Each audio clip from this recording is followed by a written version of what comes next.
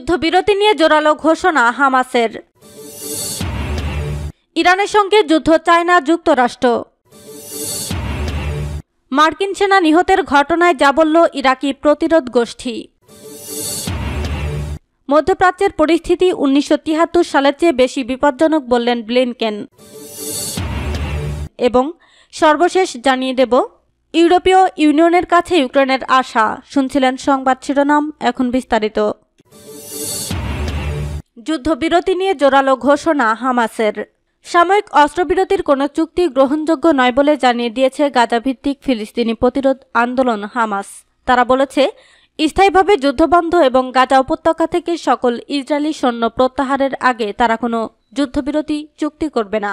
প্যারিসে যুক্তরাষ্ট্র, ইসরায়েল মিশরের গোয়েন্দা প্রধানদের বৈঠকে একটি সাময়িক অস্ত্রবিরতি নিয়ে সমঝোতার আবাস সৃষ্টির প্রেক্ষাপটে হামাস এই ঘোষণা দিল। হামাসের সাথে আরেকটি ছোট group popular front for liberation of Palestine একই বক্তব্য দিয়েছে হামাসের এক সিনিয়র কর্মকর্তা।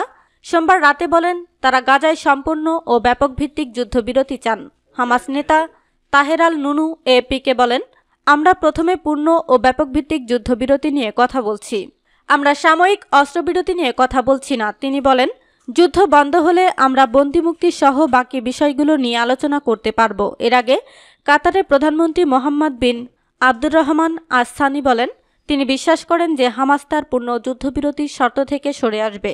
তিনি যুদ্ধবিরতির ব্যাপারে আশাবাদী বলে জানান, উল্লেখ্য ইসরায়েল সুস্পষ্টভাবে এই দাবি প্রত্যাখ্যান করেছে। ইসরায়েল কোনো অবস্থাতেই স্থায়ী যুদ্ধবিরতিতে রাজি নয় বলে জানিয়ে দিয়েছে। কিন্তু হামাস মনে করছে বেসামরিক নাগরিকদের মুক্তি দেওয়া হলে ইসরায়েল আরও ভয়াবহভাবে আক্রমণ করবে। এমনকি তাদের বন্দি সৈন্যদের জীবনের ব্যাপারেও পরোয়া করবে না।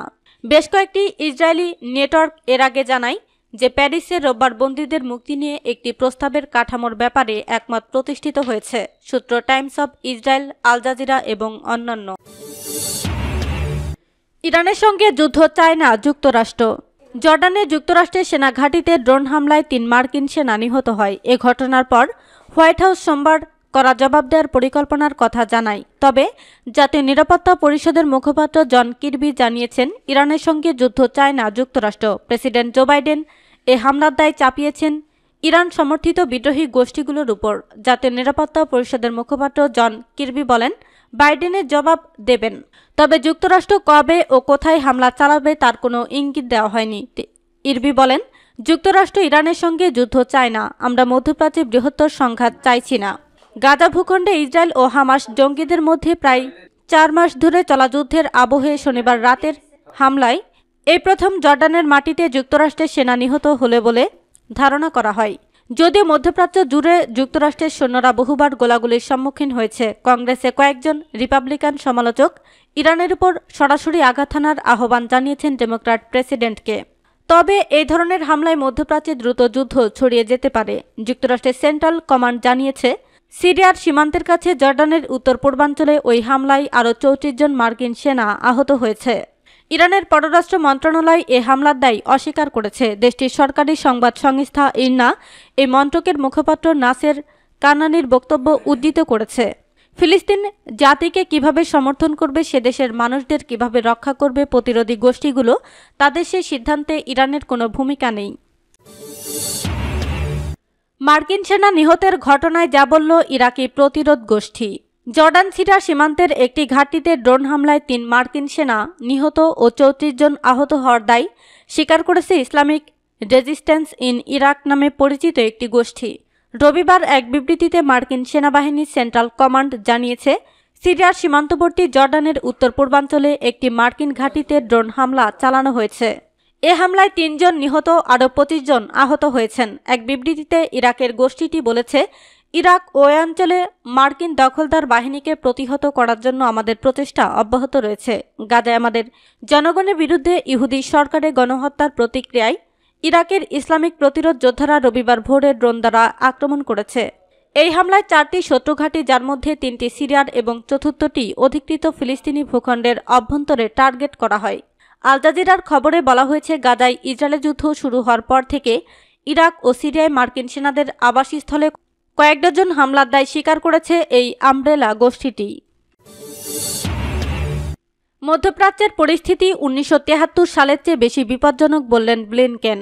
মধ্যপ্রাচ্যের পরিস্থিতি গত কয়েক দশকের মধ্যে সবচেয়ে ভয়াবহ, বিপজ্জনক অবস্থায় রয়েছে বলে মন্তব্য করেছেন মার্কিন পররাষ্ট্রমন্ত্রী অ্যান্টনি ব্লিনকেন। মঙ্গলবার কাতার ভিত্তিক সংবাদ মাধ্যম আল জাজিরার এক প্রতিবেদনে তথ্য জানানো হয়েছে।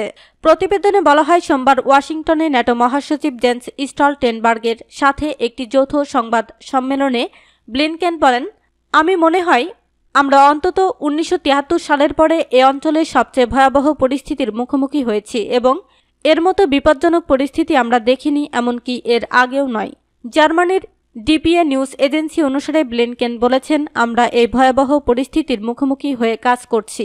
উনিশশো সালে সংগঠিত যুদ্ধ ইসরায়েলিদের কাছে ইয়ম কিপুর এবং আরবদের কাছে অক্টোবর যুদ্ধ নামে পরিচিত। যুদ্ধটি শুরু হয়েছিল যখন মিশর এবং সিরিয়া উনিশশো সাতষট্টি সালের ছয় দিনের যুদ্ধে তাদের হারানো অঞ্চলগুলো পুনরুদ্ধার করতে ইসরায়েলের উপর দ্বিমুখী আক্রমণ শুরু করে, যখন ইসরায়েল মিশরের সিনাই উপদ্বীপ দখল করে এবং সিরিয়ার গোলান মালভূমি। ইসরায়েল উনিশশো সাতষট্টি সালে পশ্চিম তীর পূর্ব জেরুজালেম এবং গাজা উপত্যকা সহ ঐতিহাসিক ফিলিস্তিনের বিশাল অংশ দখল করে। মিশর সিনাইয়ের নিয়ন্ত্রণ পুনরুদ্ধার করেছে, কিন্তু সিরিয়ার গোলান মালভূমি এখনও ইসরায়েলের দখলে রয়েছে। অন্যদিকে, ফিলিস্তিনি ভূখণ্ডগুলো আজও ইসরায়েলি বাহিনীর দখলে রয়েছে। এদিকে, নেতানিয়াহু সরকারের একজন সিনিয়র সদস্য বলেছেন, হামাসের বিরুদ্ধে ইসরায়েলের যুদ্ধ দশ বছর বা এমনকি একটি পুরো প্রজন্ম স্থায়ী হতে পারে। ইসরায়েলের যুদ্ধ মন্ত্রিসভার সদস্য বেনি গান্টোস উচ্ছেদ হওয়া দক্ষিণ ইসরায়েলি সম্প্রদায়ের সাথে বৈঠকের সময় টাইমস অব ইসরায়েল জানিয়েছে যে, হুমকি সম্পূর্ণভাবে অপসারণ করতে সময় লাগবে যদিও তিনি গ্রীষ্মের মধ্যে মোটামুটি নিরাপত্তা দেখতে পাবেন বলে আশা করেন। গান্টোজ ইসরায়েলি বাসিন্দাদের আরও বলেন, গাজায় হামাসের হাতে বন্দীদের দেশে ফিরিয়ে আনা ফিলিস্তিনি গোষ্ঠীকে নির্মূল করার চেয়ে অগ্রাধিকার পাবে। সংখ্যাটা আরও বেড়েছে। ইতিমধ্যে আটটি দেশ মার্কিন যুক্তরাষ্ট্রের সাথে মিলে জাতিসংঘের সংস্থা ইউএনআরডব্লিউতে তাদের অনুদান স্থগিত করেছে। এই দেশগুলো হলো Australia, Canada, Finland, Germany, Italy, Netherland, Switzerland ও যুক্তরাজ্য। আরও দুটি দেশ বলেছে যে তারা ইউএনআরডব্লিউকে পর্যালোচনা করছে। তারা হলো আয়ারল্যান্ড ও নরওয়ে। সূত্র আল জাজিরা। ইউরোপীয় ইউনিয়নের কাছে ইউক্রেনের আশা। অবশেষে হাঙ্গেরির আপত্তি দূর করে ব্রাসেলস থেকে আর্থিক সহায়তা পাওয়ার আশা করছে ইউক্রেন। সে দেশের পররাষ্ট্রমন্ত্রী ইউক্রেন সফর করছেন। তবে ওয়াশিংটন থেকে এখনও সুখবর আসছে না। অনেক আশা ও আশ্বাস সত্ত্বেও ইউক্রেন পশ্চিমা বিশ্বের কাছ থেকে গুরুত্ব আর্থিক সহায়তা হাতে পাচ্ছে না। মার্কিন যুক্তরাষ্ট্র ও ইউরোপীয় ইউনিয়ন মোটা অঙ্কের সহায়তার সিদ্ধান্ত নেওয়া সত্ত্বেও রাজনৈতিক জটিলতার কারণে চূড়ান্ত অনুমোদন পাওয়া যাচ্ছে না। চলতি সপ্তাহে ইউরোপীয় ইউনিয়ন শীর্ষ সম্মেলনে সে বাধা দূর হবে এমন সম্ভাবনা উজ্জ্বল হয়ে উঠছে। ফলে একমাত্র হাঙ্গেরির আপত্তির কারণে যে সিদ্ধান্ত মুলতবি রাখতে হয়েছিল, সেটি অবশেষে কার্যকর করা সম্ভব হবে। ফলে আগামী চার বছরের জন্য ইউক্রেন ব্রাসেলস থেকে পাঁচ হাজার কোটি ইউরো পেতে পারে। সেক্ষেত্রে রাশিয়ার হামলা প্রতিহত করতে অতি প্রয়োজনীয় গোলাবারুদ ও সামরিক সরঞ্জাম সংগ্রহ করতে পারবে সে দেশ। রাশিয়ার সঙ্গে ঘনিষ্ঠ সম্পর্ক ও ইউরোপীয় ইউনিয়নের সঙ্গে সংঘাতের কারণে হাঙ্গেরি প্রধানমন্ত্রী ভিক্টর ওরবান যুদ্ধের শুরু থেকেই ইউক্রেন প্রশ্নে যতটা সম্ভব বাধা সৃষ্টি করে আসছে, কিন্তু বাকি ইইউ সদস্যদের প্রবল চাপের মুখে তিনি সম্ভবত এবার আপত্তি তুলে নেবেন।